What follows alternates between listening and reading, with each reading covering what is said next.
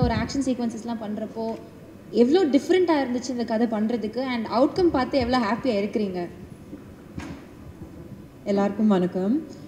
Um, firstly Subaskaran sir and Tamil Kumaran sir thank you ஏன்னா இந்த படம் actually கரெக்டாக அந்த ஃபர்ஸ்ட் லாக்டவுனில் இது முடித்தோம் we just return from Uzbekistan and அப்போ அந்த ஃபர்ஸ்ட் லாக்டவுன் டிக்ளேர் ஆயிடுச்சு. ஸோ நம்ம எல்லாரும் ஒரு மாதிரி வெயிட் பண்ணிகிட்ருக்கோம் இந்த படத்துக்கு.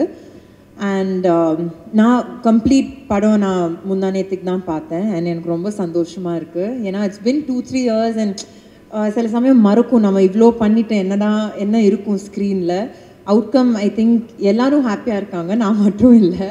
And thanks to my director ஏன்னா எனக்கு அவரோட படங்கள் ரொம்பவே பிடிக்கும். இது என்ன என்னன்னா எல்லாத்துக்குமே சொல்கிறாங்கன்னு அப்படி நினைக்காதுங்க. இட்ஸ் ஆக்சுவலி வெரி டிஃப்ரெண்ட் நானே இந்த மாதிரி ஒரு ஒரு ரொம்ப டிஃப்ரெண்ட்டான ஸ்கிரிப்ட் அட்டம் பண்ணியிருக்கேன். அதில் இட்ஸ் வெரி இன்டெலிஜென்ட் ஸ்கிரிப்ட்னு சொல்லுவேன். அண்ட் uh, இந்த மாதிரி ஒரு line I have never heard it in fact Saravanan sir எனக்கு முதல்ல about few years ago line சொல்லும்போது எனக்கு ரொம்ப பிடிச்சி போச்சு. ஏன்னா ஓகே ஒரு ஹீரோயின் சென்ட்ரிக்னா ஏதோ ஒரு டிஃப்ரென்ஸ் இருக்கணும். To make a difference to make a mark அது எனக்கு இந்த ஸ்கிரிப்டில் பிடிச்சது. அண்ட் uh, ரொம்பவே நல்லா வந்திருக்கு. Now it's left to you guys to gauge it and judge இட்னு சொல்லுவேன். அண்ட் எஸ் ஆக்ஷன்னா அந்த செகண்ட் ஹாஃபில் இப்போது ஒரு ஆக்ஷன் ரோல்னு சொல்ல முடியாது இது. ஐம் பிளேயிங் தயல் நாயகி இந்த ரோல் ஆக்ஷன் ரோல் இல்லை. இட்ஸ் எப்படி இருந்ததுன்னா பிகாஸ் ஆஃப் சில சர்க்கம்ஸ்டான்சஸ்னால she is force to get into action அது ஒரு டீஃபால்ட்டாக தெரியாமல் she gets into and very எப்படி சொல்கிறது ஒரு வெரி மெஸ்ஸி சுச்சுவேஷன் ஒரு ரொம்ப சீரியஸான சுச்சுவேஷன் அவள் என்னென்னா ஒரு ஷீ இஸ் அ ஜேர்னலிஸ்ட் ஆனால் வெரி ஃபியர்ஸ் உமன் யாருக்குமே ஒரு ஃபியர்லெஸ்னு சொல்லலாம். தட்ஸ் ஹர் கேரக்டர் இந்த ஃபிலிம் ஸோ சில சமயம் ஃபியர்லெஸ்ஸாக இருந்தால் நம்ம யோசிக்க மாட்டோம். இந்த மாதிரி ஒரு சுச்சுவேஷன் இருந்தால் என்ன நடக்க போகிறது சீரியஸாக எப்படி we won't think of it like that ஏன்னா நானே கொஞ்சம் அப்படி தான் இன் ரியல் லைஃப் யோசிக்காமல் சிலதுலாம் ஓ oh, அன் ஃபியர்லெஸ் பண்ணிடலாம். அப்படி தான் இருக்குது அந்த மாதிரி தான் இந்த பொண்ணும் இந்த படத்தில் பண்ணுவா. அதில் she get stuck in one very serious situation and by டிஃபால்ட்டாக how she is drawn into the whole mess அந்த ஆக்ஷன் அது இது. And first half and second ஹாஃப்க்கு ரொம்பவே டிஃப்ரென்ஸாக இருக்கும். ஏன்னா I think is the first time I think so first time உஸ்பெகிஸ்தானில் ஒரு படம் ஷூட் பண்ணியிருக்காங்க ஐ திங்க் நான் அந்த இடத்துக்கு போனதே இல்லை. It was very new to me and ரொம்ப பியூட்டிஃபுல்லாக விஷுவல்ஸ் um, சக்தி சார் ரொம்ப ரொம்பவே அழகாக கேப்சர் பண்ணியிருக்காங்க அந்த raw real rustic feel of Uzbekistan and அது நம்மளுக்கு எல்லாருக்குமே ரொம்ப சேலஞ்சிங்காகவும் இருந்தது எக்ஸைட்டிங்காகவும் இருந்தது. So that is one part that I am looking forward to how how it will be ரிசீவ்ட்னு so yes overall சாட்டிஸ்ஃபேக்ஷன்னு சொல்லலாம். Now it's left to you guys ma'am உஸ்பெகிஸ்தானில் இருக்கிற லாங்குவேஜ் எப்படி வந்து உங்களுக்கு ஒரு பேரியராக இருந்துச்சு இருந்தீங்க சோசியல் மீடியாவில் ஸோ எல்லாமே ரொம்ப அழகாக இருக்குது இந்த டுவெண்ட்டி இயர்ஸ் ஜேர்னி எப்படி இருந்தது? அண்ட் ஆல்ரெடி நீங்கள் சொன்ன மாதிரி ஃபியர்லெஸ் கேர்ள் அப்படின்னு சொல்லியிருந்தீங்க இல்லையா? ஸோ எப்படி இருந்தது உங்களுக்கு? சூப்பர்பாக இருக்குது and this year has been ரொம்ப கிரேட்ஃபுல்லாக இருக்குது ஏன்னா கரெக்டாக இந்த end of the year it's finishing with a bang எனக்கு இந்த எனக்கு ரொம்ப ஆசையாக இருந்தது இந்த லாஸ்ட் டூ இயர்ஸ் இந்த படம் எப்படியாவது வெளியில் வரணும். அண்ட் அஃப்கோர்ஸ் பேண்டமிக் நிறைய எல்லாருக்கும் நிறைய பிரச்சனைகள் இருந்தது. ஸோ எனக்கு இது இது கண்டிப்பாக வரணும் because it's different for me and ஒரு let's finish the new year with a பேங்க்னு நான் சரவணன் சார்கிட்டே சொன்னேன். Because it's coming correctly at that time ஒரு ரொம்ப எப்படி சொல்கிறது ஒரு ஜாயஸ் டைமில் வருது.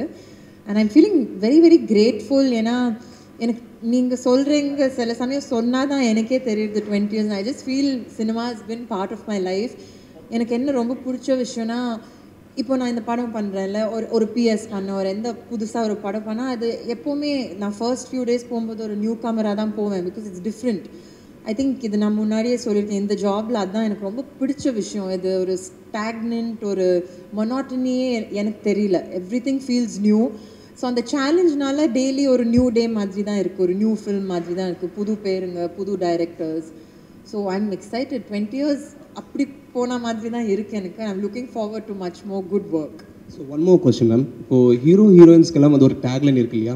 லைக் சூப்பர் ஸ்டார்ஸ் அப்படின்ற மாதிரி. நீங்கள் டுவெண்ட்டி இயர்ஸாக இருக்கீங்க இண்டஸ்ட்ரியில் அப்படி உங்களுக்கு ஏதாச்சும் ஒரு டேக்லைன் வச்சுக்கணும் அப்படின்னா என்ன வைப்பீங்க? ஆக்சுவலி எனக்கு நிஜமாவே இது நம்பிக்கையே இல்லை இந்த டேக் லைன்ஸில் ஐ ஃபீல் படம் நல்லா போனோம் அவ்வளோதான் தான் முக்கியம் ஒரு ஆக்டருக்கு நான் எனக்கு எந்த டேக்லைனும் I don't believe in it but என்னோட ஃபேன்ஸுக்காக இது சொல்கிறேன் அவங்க ஒரு டேக் லைன் சவுத் குயின்னு வச்சுருக்காங்க.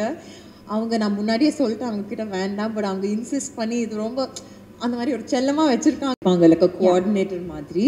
ஸோ அங்கே மெயின் ஆளுங்க ஒன் ஆர் டூ அவங்க அவங்க இங்கிலீஷ் பேசினால் தேவர் ஸ்பீக்கிங் இங்கிலீஷ்னால வி குட் ஆல் மேனேஜ் ரொம்ப பியூட்டிஃபுல்லாக இருந்தது. அது எப்படி சொல்கிறது இட்ஸ் நாட் அ வெரி நம்ம போன இடம் ஒரு சிட்டி மாதிரியே இல்லை. இட்ஸ் வெரி குவீன்ட் ஒரு சின்ன ஒரு வெரி ஸ்மால் டவுன் அது எல்லாமே ரா இருக்கிறது. சில இடத்துல ரோட்ஸ் கூட போடல. It's just those pebble roads it's those rocky roads so நீங்கள் படம் பார்க்கும்போது அது கண்டிப்பாக uh, தெரியும். And I think Sakthi sir has brought out the colours very realistically அதில் எதுவுமே ஆட் பண்ணாமல் அது ரொம்ப பேஸ்டலாக ரொம்ப ராவாக காமிச்சிருக்காரு. You you guys have a question mike so AR முக முருகதாஸ் அவர்களோட கதை எழுதி அந்த கதையை டிரெக்ட் பண்ணியிருக்கிறது நம்முடைய Saravanan sir and Trisha ma'am வந்து லீட் ரோல் ப்ளே பண்ணியிருக்கிறாங்க. டீசர் எல்லாமே பார்த்துருப்பீங்க. செம்ம ஒரு ஆக்ஷன் சீக்வன்ஸ் எல்லாம் வச்சு ஒரு செம்மையான ஒரு படமாக உருவாகி இருக்குது அப்படின்னு ஒரு ஹோப் கண்டிப்பாக கொடுத்துருக்குது.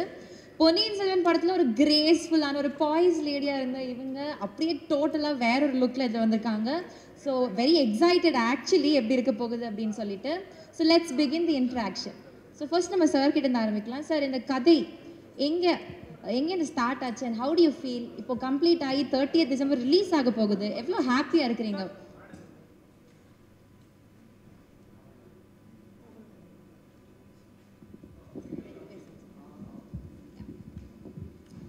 அனைவருக்கும் வணக்கம். இந்த படம் டிசம்பர் முப்பது ரிலீஸ் ஆக போகுது. ரொம்ப எக்ஸைட்டடாக தான் இருக்குது இந்த நேரத்தில் சுபாஸ்கரன் சாருக்கும் தமிழ்குமரன் சாருக்கும் என்னோடய நன்றியை தெரிவிச்சுக்கிறேன். இந்த கதையை வந்து டாக்டர் முருகதாஸ் சார் அவரோட தான் இந்த ஸ்டோரி. இதில் நான் ஸ்க்ரீன் ப்ளே எழுதி டைரெக்ஷன் பண்ணியிருக்கேன். இதில் வந்து சொல்லணுன்னா ஃபஸ்ட்டு இவங்களோட ஒர்க் பண்ணும்போது எனக்கு ஒரு சின்ன பயம் இருந்தது. பிகினிங் மீட் பண்ணும்போது. ஆனால் இந்த படத்தை இவ்வளோ என்ன சொல்கிறது ரொம்ப சூப்பராக வந்திருக்கிறதுக்கு அவங்களோட கோஆப்ரேஷன் ரொம்ப முக்கியமாக இருந்தது.